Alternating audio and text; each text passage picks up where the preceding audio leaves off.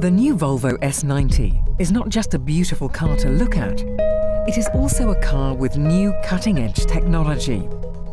This is based on the SPA architecture, so it has all the goodies that uh, the SPA architecture brings with it and is tuned towards the driving experience that we want for Volvo. The new chassis has also given this car driving characteristics and road holding that really impress. We have the latest and greatest cutting edge technology for our suspensions. It is a double wishbone front suspension. It is a spring leaf suspension in the rear, which actually protects the interior of the car, the luggage compartment, of not being intruded by spring leaves. And it is also a weight reduction, and it can be really tuned better than any other setup.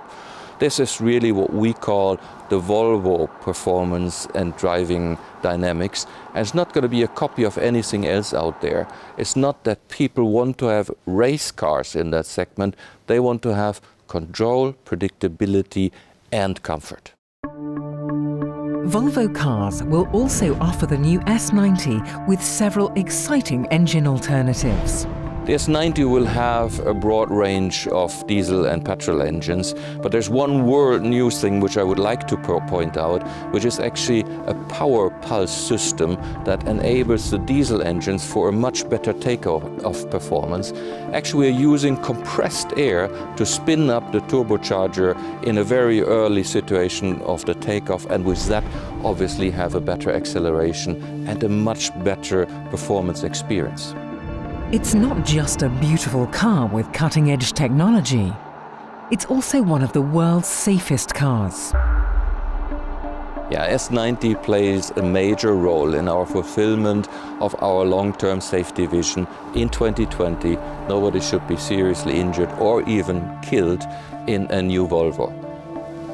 XC90 was the first and very important step towards that vision. S90 is following that and doing the next step towards this vision with two world firsts, one of which is large animal detection.